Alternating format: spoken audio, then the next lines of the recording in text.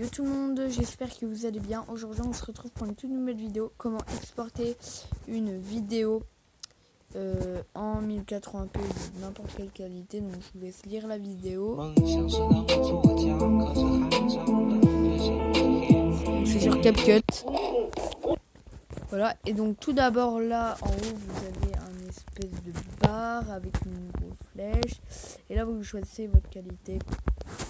Voilà, vous avez juste à appuyer sur la petite barre ici et, vous, et là ça va vous amener vers la qualité. Là par exemple je vais choisir en 4K et je vais choisir en 60 fps.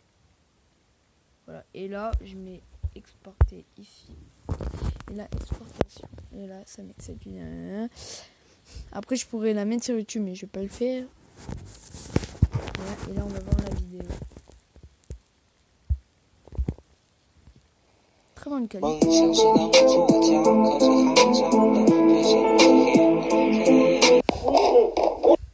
Je pense qu'à chaque fois, je vais exporter en 4K parce que c'est hyper bonne qualité. Vous trouvez pas? Bon bah voilà les amis, c'était une petite vidéo euh, comment euh, exporter en 4K euh, sur CapCut. Moi je vous dis tchuss, à la prochaine.